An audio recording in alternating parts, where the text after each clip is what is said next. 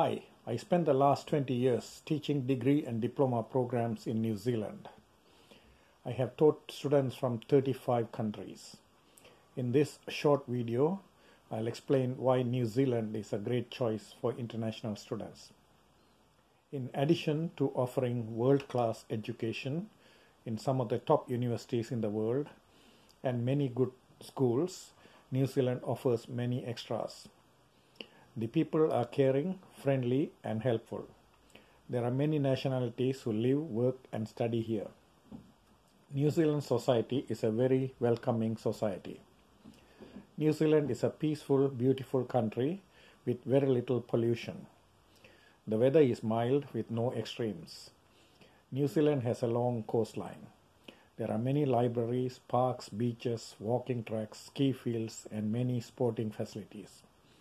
Most New Zealanders are health conscious and take part in a wide range of sports. The hospitals are world class. Tap water is safe to drink. The food is fresh. Very seldom will you see a fly or get bitten by a mosquito. There are no snakes or other poisonous animals, so you can walk in the bush without worrying about getting bitten. On the road, drivers are so courteous that it is rare to hear a car horn sound. Regardless of what job you do, you are treated the same. There is no class system and there is no corruption. New Zealand is a safe country with a relaxed lifestyle. All this makes New Zealand a great place to live, work, and study.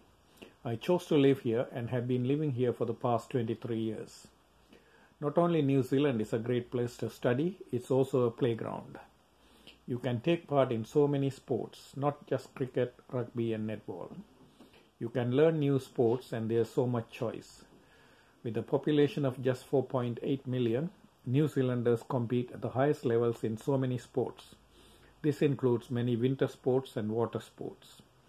New Zealand has white sand beaches, black sand beaches, surf beaches with dangerous swells, as well as calm, safe beaches. New Zealand is also a tourist paradise with its beautiful scenery, geothermal mud pools, geysers, glaciers, glowworms, walking tracks, parks, caves, beaches, banana boats, sailing boats, whitewater rafting, whale and dolphin watching, skydiving, skywalks, jet boats, skiing, snowboarding, skate parks, heated swimming pools, zoos, botanic gardens, hot air ballooning, paragliding, and of course, bungee jumping. New Zealand is where bungee jumping originated. During my 20 years as head of department, lecturer, and research manager, I have come across students who have enrolled in courses or institutions that did not meet their expectations. These could easily have been avoided if they did some research on the internet before they signed up. There are plenty of universities, schools, polytechnics, and private training establishments right across New Zealand offering a wide range of courses and programs. My advice to you is to do your research on the internet, ask questions, and find out as much as possible before you choose an institution and the program and courses that best meet your expectations. I am not an agent or an immigration advisor. I've been an academic for 20 years in New Zealand and I am providing this information through my YouTube channel to help you discover the many cool things you can do in New Zealand in addition to getting a world class education and to encourage you to spend time looking at the various options that New Zealand offers and make sure that you choose the best institution and the program and courses that best meet your expectations. You may also check out the Education New Zealand website. Finally, a word of caution regarding New Zealand beaches. Many students come from parts of the world where there are no beaches and may not be aware of the dangers posed by rip currents. Although New Zealand does not have animals or plants that can kill people, most beaches on the west coast like Piha or Muriwai and Hot Water Beach all popular tourist destinations have dangerous rip currents. People get into trouble even when standing in knee deep water. Some strong swimmers have drowned at these beaches. On the other hand, most East Coast beaches are generally safe. I spend a lot of time on the water, including Muriwai and Orewa beaches.